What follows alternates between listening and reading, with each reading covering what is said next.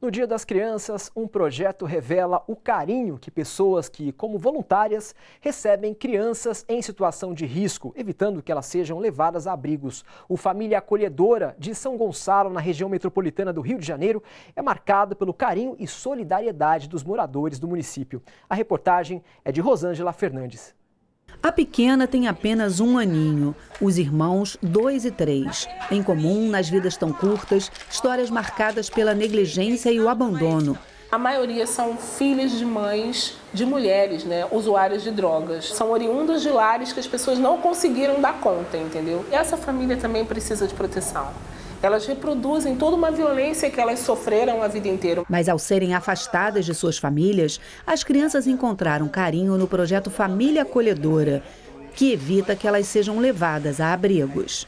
Quando você muda a proposta para acolhimento familiar, e aí se institui a família acolhedora, né, que são famílias que vão estar ali dispostas a estar dando, fazendo e ofertando esse carinho, essa responsabilização de família mesmo, de acompanhamento, você já muda a estrutura dessa criança. Demétrios e a mãe, Dona Marlene, abriram a casa e o coração para o acolhimento. Os primeiros dois dias foi bem difícil. Ela não comia absolutamente nada. Então a dor associada ao trauma fez com que ela se, se fechasse. Mas com carinho, amor e muita paciência, a criança está aí que você viu. Brinca, corre. Antes ficava só com uma pessoa muito resistente, com muito medo. Hoje, do povo, igual a mim.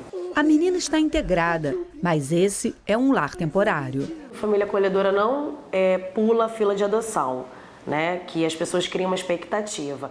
O Família Acolhedora é um serviço para reintegrar, né? Então, só que é, ter uma indicação para um processo de adoção, isso faz parte do acompanhamento familiar.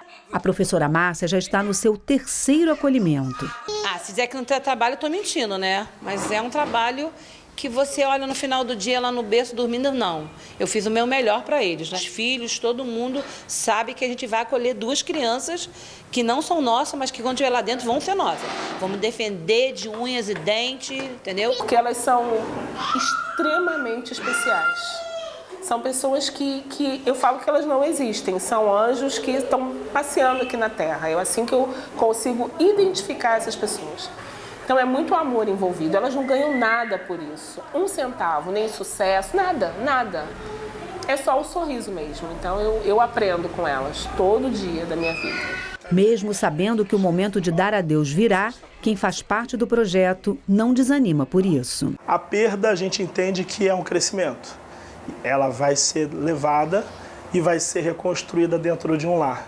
E depois disso, a gente recebe outro. A casa está aberta, sempre esteve. Está muito bom, é uma lição, né? A gente pensa que está ensinando, no fundo a gente está aprendendo. E eles querem o aprendizado multiplicado e por cinco. Cinco fraldas, cinco mamadeiras, cinco crianças. Se você tem isso como princípio de vida, que você precisa se doar, você consegue energia de onde não tem.